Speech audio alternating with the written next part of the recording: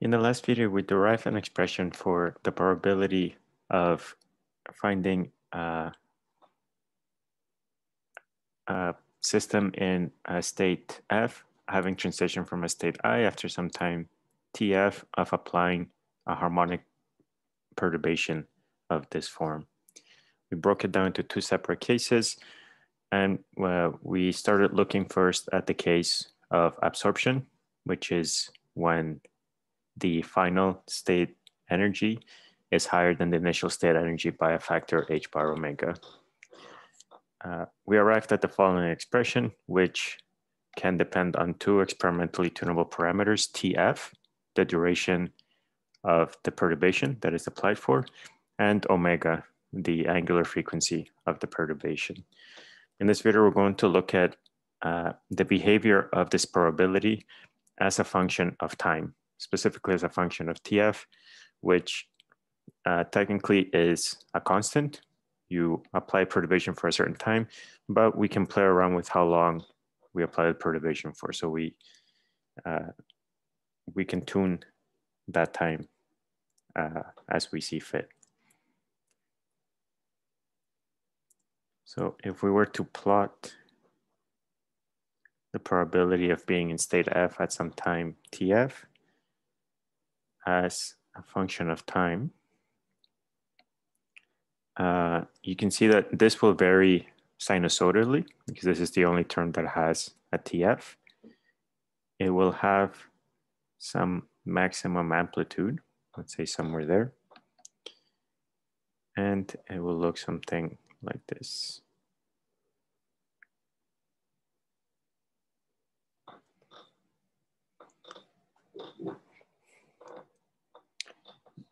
Okay.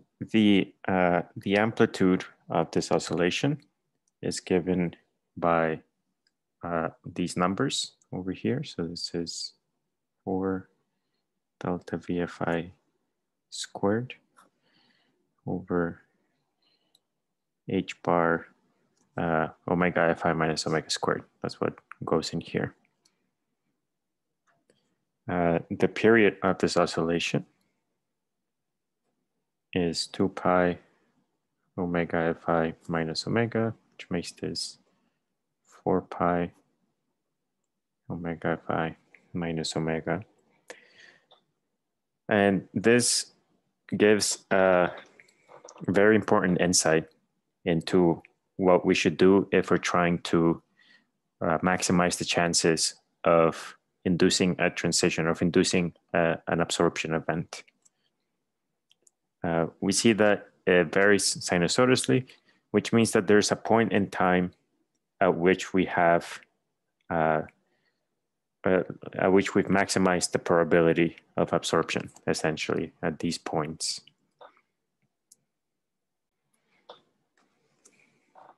Right, so the first conclusion we can make for this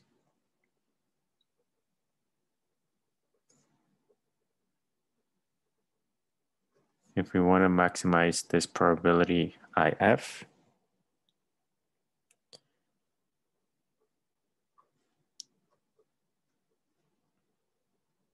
we should only apply the transition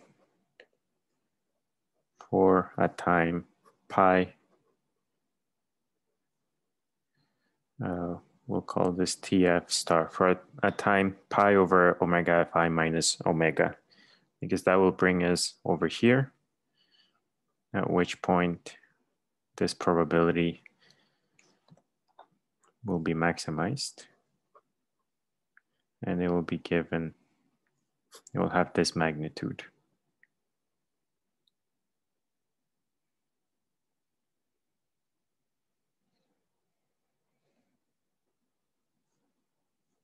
Uh, there's no need for the absolute values, but I'll put the absolute values. Okay.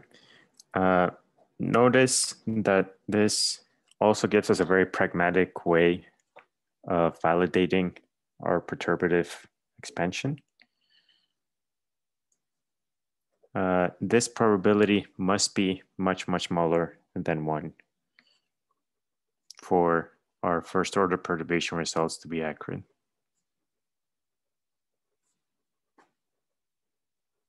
And this is often the case in practice. Uh, this probability is really actually very small.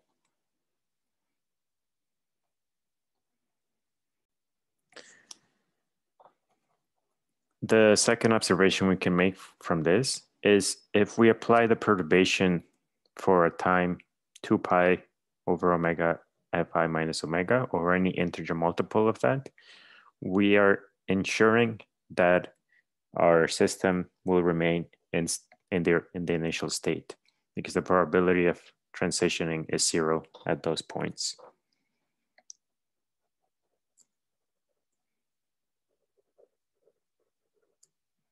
Actually, it should be TF.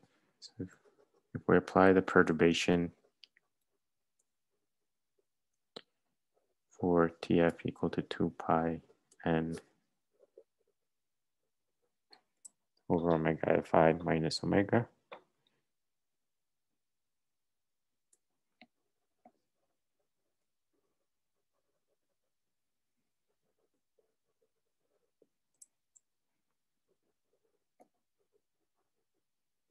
Uh, to find the particle or the system that we're looking at.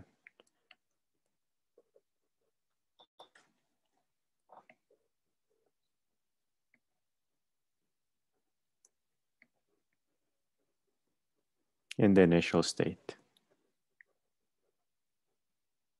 And this is because in that case, when TF is equal to 2 pi n, omega fi minus omega is identically zero.